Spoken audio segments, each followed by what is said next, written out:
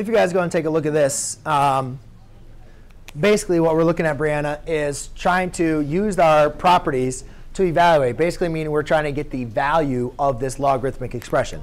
So Aaron, the first thing I'd like to do is try to see, you know, can I take 2 raised to some number equals 160? Uh, I don't know yet. I mean, I could use my calculator. I could do guess and check.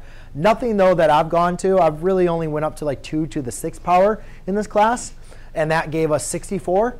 So I don't know. I could keep on working on this and see if it gets to it. But I don't think it's going to be the case. 2, I know raised to what number gives you 5. Well, I know 2 raised to the second power is 4. 2 raised to the third power is 8. So this is going to be some decimal, right?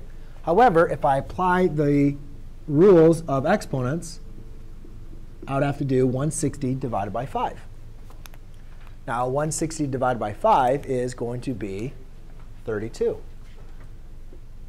Hopefully, now you guys are a little bit more familiar with 2 raised to what number gives you 32.